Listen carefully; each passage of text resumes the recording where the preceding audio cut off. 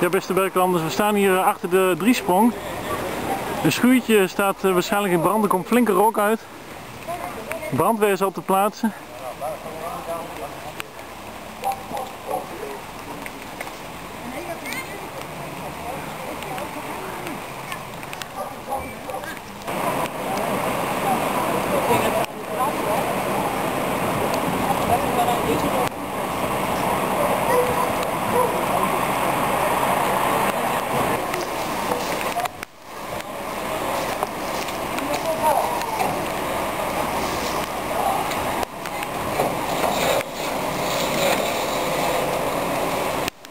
Duidelijk te zien dat het om een container gaat.